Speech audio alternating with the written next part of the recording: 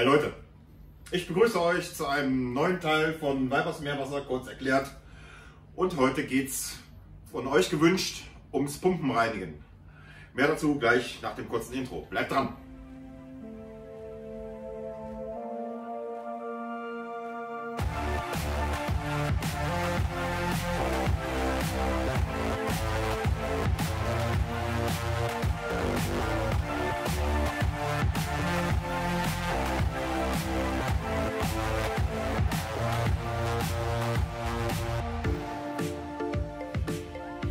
Ja Leute, Pumpen reinigen ist pauschal gesagt lästig.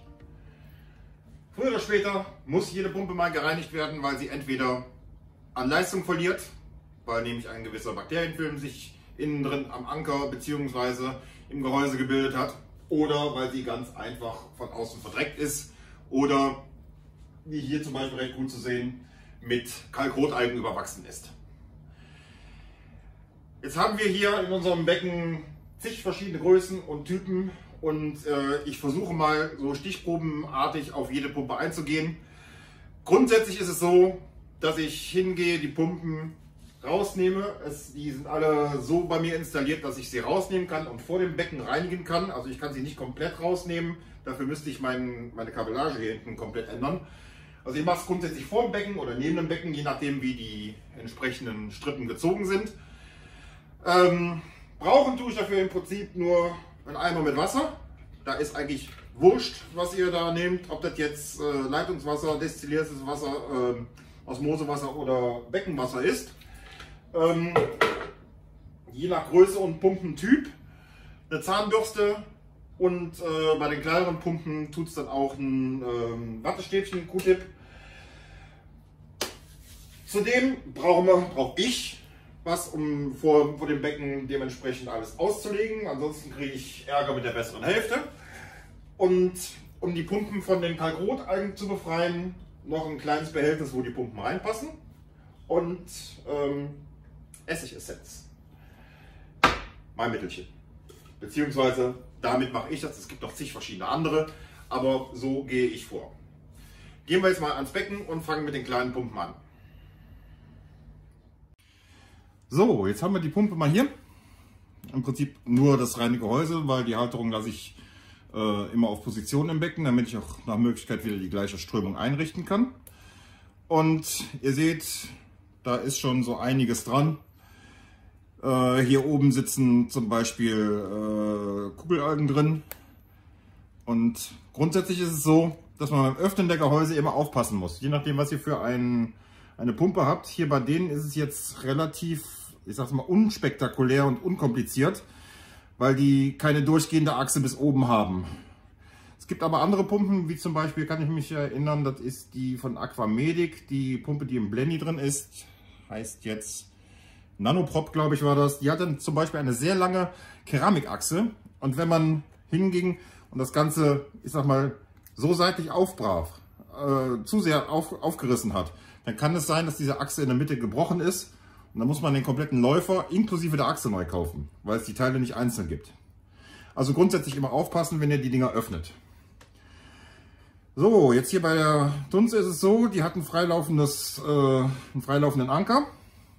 Und ihr seht, die ist ganz schön schmodderig von hier innen drin. Ich habe jetzt hier ganz normales Süßwasser, weil ich gleich auch sowieso die äh, Kalkrotalgen entfernen will. Hier kann ich mit der Zahnbürste reingehen. Das ist groß genug bei dieser, dieser Pumpe. Bei den anderen Pumpen, die kleiner sind, nehme ich dann äh, den, äh, den Wattestocher. So, dann reinige, reinige ich die entsprechenden Öffnungen hier an der Seite. Gucke, dass nach Möglichkeit alles an grobem Dreck erstmal raus ist. Schaue mir das hier an den Seiten an. Wie gesagt, ich entferne den Dreck. Überprüfen, ob die Kabel in Ordnung sind. Ich hatte nämlich eben bei der ersten Pumpe, die ich rausgeholt habe, ähm, die hier oben hängt, da ist eins von den Kabeln defekt. Ähm, da ist, äh, da habe ich auch schon Kontakt mit, der, äh, mit dem Verkäufer aufgenommen. Und wie gesagt, ich reinige jetzt das erstmal grob, lege es dann auf Seite. Den Anker dementsprechend auch gut reinigen, dass der Schmodder darunter ist.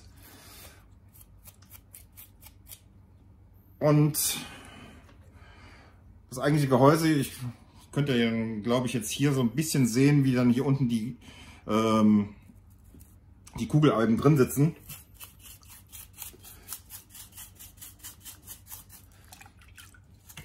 Und die nach Möglichkeit rausnehmen, wenn man das mit der Zahnbürste nicht hinkriegt, kann man auch mit einem kleinen Messerchen hingehen und das Ganze freikratzen.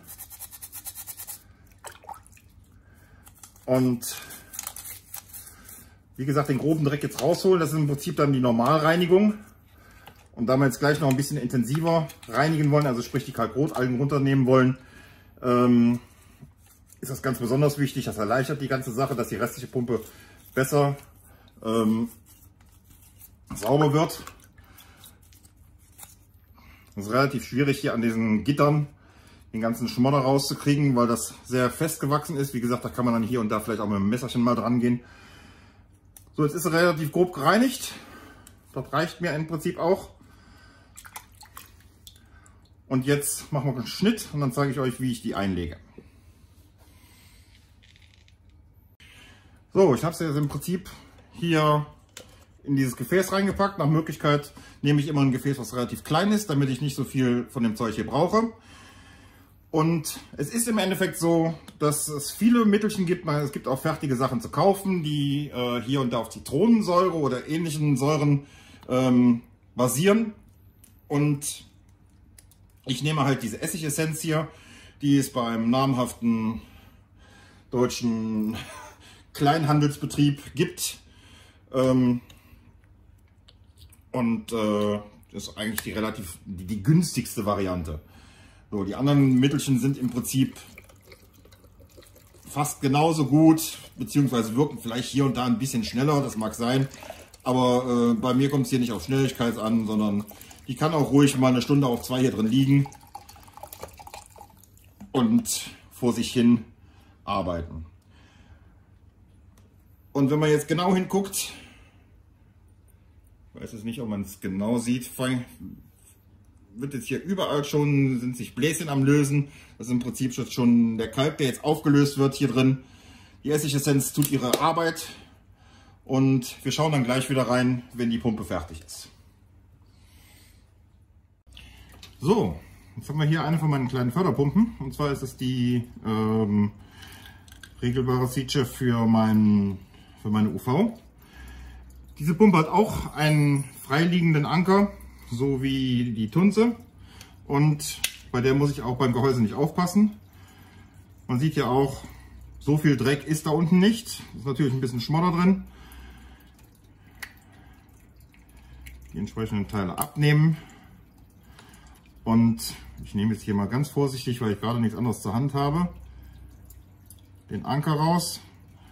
Und wie gesagt, beim Anker ist es halt wichtig, ähm, hier ist ein Bakterienfilm drauf und dieser Bakterienfilm hat zwei Funktionen im Endeffekt äh, für uns. Einmal, wenn die Pumpe frisch ist, ähm, ist er einerseits dafür da, um, ich sag jetzt mal, ein kleines bisschen Geräuschdämpfung zu machen. Zum Zweiten ähm, dämpft er auch so ein kleines bisschen die Leistung. Und deshalb sollten wir das Ganze regelmäßig machen. Ähm, hier ist die, die Öffnung jetzt so klein, dass ich mit der Zahnbürste nicht mehr reinkomme.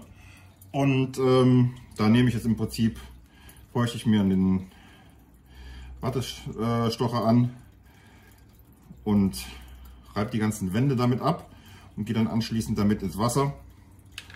Ja, ihr seht, was da von Schmodder rauskommt. Jetzt habe ich natürlich hier ein Längenproblem. so. Nochmal kurz ein bisschen nach, sodass der, dass dieser Bakterienfilm da aus dem Motor innen rauskommt. Und äh, alles andere kann man sich dann angucken. Den groben Film hier auch, ich sag jetzt mal, entfernen mit der Zahnbürste und nochmal im Wasser abspülen. Und das war es im Prinzip schon. Diese Pumpe äh, steht nicht viel am Licht, beziehungsweise kriegt nicht viel Licht ab. Und somit hat die auch fast keine Kalkrotalgen dran. Brauche ich also nicht intensiver zu reinigen. Und das wäre es zu dieser Pumpe schon. Gehen wir zur nächsten. So, kommen wir hier zu einem etwas größeren Schätzchen am Pumpe. Und zwar ist das meine Rückförderpumpe. Das ist die Magspec Turbino Duo. Hier aufgebaut im Single-Modus, weil ich die zweite Seite noch nicht oder im Moment noch nicht brauche. Grundsätzlich ist es so, dass die Pumpe ja im Klarwasserbereich ist und ähm, da haben wir halt nur, ich sage jetzt mal im Endeffekt, mit dem üblichen Schmodder zu kämpfen. Also leichte Bakterienbelege sollten das sein. Ähm, die lässt sich relativ einfach reinigen, also das ist nichts Wildes hier. Aber ich wollte es euch halt mal zeigen, weil ich auch von dieser Pumpe sehr begeistert bin. Die ist nämlich, ähm, ich sage es mal pauschal gesagt, unhörbar. Viele andere Pumpen auch, aber die kann, kann es besonders gut. Jetzt muss ich mal gucken. Ja, geht. Ähm, hier wäre die Seite für den zweiten Impeller. Also im Prinzip kann man alles schön zerlegen, auseinandernehmen und ähm, ich habe hier unten noch einen kleinen Schraubendreher. Hier ist eine, eine Sicherungsschraube drin, eine ganz einfache. Die muss nicht großartig oder fest angezogen werden. Natürlich darauf achten, dass hinten auf der Rückseite die... Na, reicht noch nicht. Noch weiter rausschrauben. Jetzt haben wir es. Jetzt kann ich es auch rausnehmen. Und ihr seht, hier ist auch dann doch einiges an Bakterienfilmen drauf, was zu reinigen ist. Darauf achten, dass die lange Schraube nicht verloren geht. Hier auf der Rückseite, da ist eine kleine Mutter drin. Die darf natürlich auch nicht verloren gehen. Und ja, Grundsatz Nummer 1, fangen wir mal an zu reinigen. Im Prinzip auch nichts weiter wie mit der Zahnbürste. Brauche ich euch nicht großartig zeigen jetzt. Ergebnis zeige ich euch dann gleich. So, sind wir wieder. Alles soweit grob gereinigt. Und dann setzen wir die Gute mal wieder zusammen. Immer darauf achten, dass die entsprechenden Nuten bzw. vorgegebenen Positionen auch immer wieder erreicht werden, dass das alles ohne Probleme freigängig ist. So, jetzt setzen wir als allererstes die Achse bzw. die Verbindung wieder ein. Das ist ein, ja, ich denke mal eine Titanschraube oder ähnliches. Also die hat sich seitdem ich die Pumpe jetzt hier habe, kein bisschen verändert. Hier auf der Rückseite die Kappe drauf, Finger draus, damit der, die Mutter nicht abhaut und das Ganze dann zusammenschrauben, so dass es fest ist. Es löst sich anschließend auch nicht, weil hier auf der Rückseite gleich die Kappe drauf kommt. Das machen wir als erstes. Hier hinten sind die nochmal zusätzlichen Dichtgummis die auch gleichzeitig beim Schließen der Kappe hier hinten na, andersrum. Genau. Wie ihr seht, da, so, jetzt ist sie fest. Gleiche Gummi hier vorne drauf, in die entsprechenden vorgegebenen Löcher. Ansetzen das Ganze und siehe da, ich habe schon wieder einen Fehler gemacht. einen nach oben. So, hier unten ist ein zusätzlicher, eine zusätzliche Sicherung, dass diese, dieses Pumpengehäuse sich nicht lösen kann. Dann kommt das Schutzgitter wieder drauf. Darauf achten, dass die, die geschlossene Seite oben ist, damit er keine Luft zieht bei geringem, geringem Wasserstand. Fuß dran. So, hier unten sieht man dann auch die Nase. Pumpe wieder zusammengesetzt, kann wieder angeschlossen werden und zurück ins Rücklaufbecken. Und wenn die jetzt gleich anläuft, machen wir dann mal, lasse ich euch ja mal zuhören, wie das dementsprechend äh, sich anhört bzw. nicht anhört. So, die Pumpe ist wieder installiert. Hinten liegt ein Schwamm hinter, weil ähm, die Installation hier von Sea, ja, die geht genau senkrecht hinten an der Scheibe runter und nicht schön mittig, sodass man die Pumpe freistehend hat. Ich schalte jetzt das Ganze mal ein. Schalter nicht. Da. Und fährt erstmal der Controller hoch.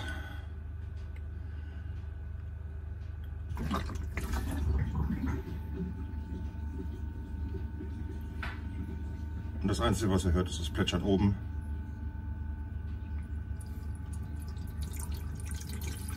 Und ist das Rücklaufen des Wassers.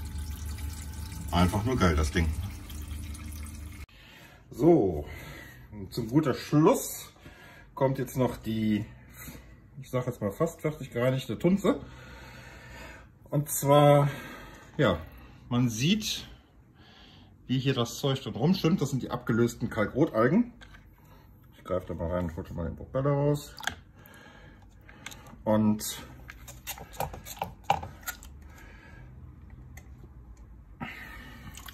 es hat sich noch nicht ganz alles gelöst. Ich gucke mal, ob ich das hier mit der Zahnbürste wegkriege. Und ihr seht, die Kalkrotalgen sind wunderbar angelöst. Na, hier und da sind noch Stellen,